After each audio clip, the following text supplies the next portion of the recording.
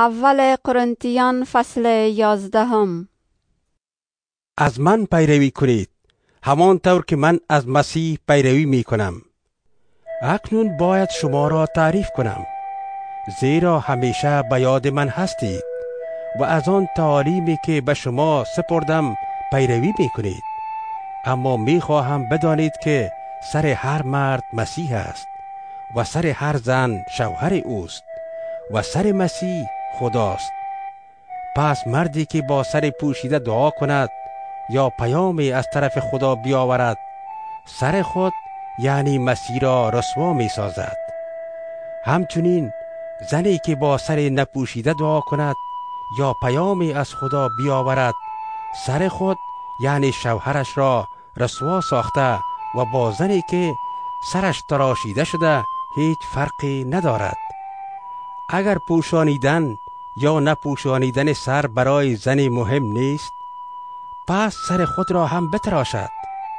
و اگر تراشیدن موی سر برای زن رسوایی به بار می آورد بهتر است که سر او هم پوشیده باشد.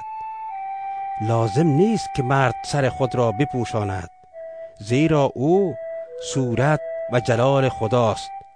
اما زن جلال مرد است. زیرا مرد از زن آفریده نشد بلکه زن از مرد به وجود آمد. و مرد نیز به خاطر زن آفریده نشد بلکه زن برای مرد خلق شد. به این جهت و همچنین به خاطر فرشتگان زن باید سر خود را بپوشد تا نشان دهد که تحت فرمان است.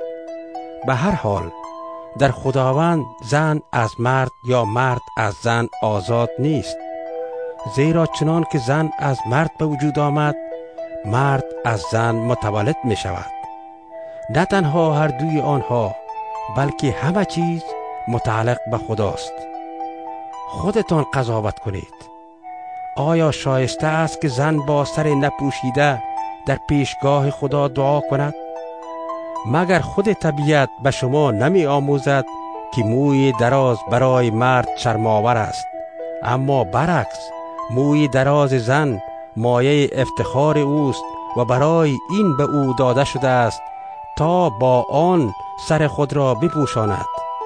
اگر کسی بخواهد در این خصوص مجادله کند تنها چیزی که به او می‌گویم این است که ما و کلیساهای خدا روش دیگری غیر از این نداریم. ولی در مورد دستورات زیر شما را تعریف نمی کنم.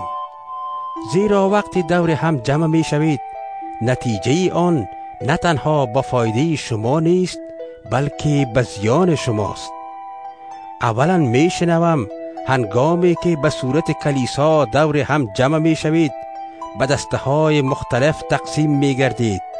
و این را تا اندازه باور می کنم زیرا شک نیست که باید در میان شما دسته های به وجود آید تا اشخاص صمیمی شناخته شوند. وقتی دور هم جمع می شوید برای خوردن شام خداوند نیست. زیرا در هنگام خوردن هر کسی با عجله شام خود را می خورد و در نتیجه عدهای گرسنه می مانند در حالی که دیگران مست می شوند آیا خانه ندارید که در آن بخورید و بنوشید؟ آیا به این وسیله می خواهید کلیسای خدا را حقیر بشمارید و اعضای نیازمند را خجل سازید؟ به شما چی بگویم؟ آیا می توانم در این امر شما را آفرین بگویم؟ هرگز نه.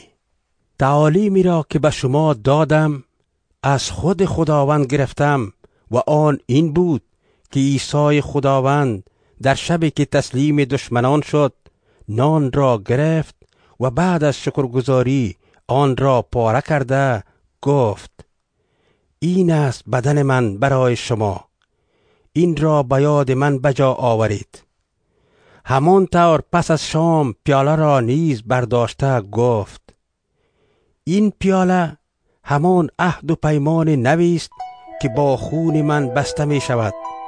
هرگاه این را می نوشید به یاد من بنوشید. زیرا تا وقت آمدن خداوند هرگاه این نان را بخورید و پیاله را بنوشید مرگ او را اعلام می کنید. بنابراین اگر کسی به طور ناشایست نان را بخورد و پیاله را بنوشد نسبت به بدن و خون خداوند مرتکب خطا خواهد شد. بنابراین هر کس باید خود را بیازماید. آن وقت از آن نان بخورد و از آن پیاله بنوشد. زیرا کسی که معنا و مفهوم بدن مسیح را درک نکند و از آن بخورد و بنوشد با خوردن و نوشیدن آن خود را ملامت می سازد به همین سبب است که بسیاری از شما ضعیف و مریض هستید و عده نیز مردند. اما اگر اول خود را می آزمودیم ملامت نمی شدیم ولی خداوند ما را داوری و تنبیه می کند تا از ما با دنیا بازخواست نشود. پس ای برادران هر وقت برای خوردن شام خداوند دور هم جمع می شوید منتظر یکدیگر باشید و اگر کسی گرسنه است در منزل خود غذا بخورد. مبادا جمع شدن شما باعث حکم شدن شما شود و در خصوص مطالب دیگر هر وقت به آنجا بیایم آنها را حل و فصل خواهم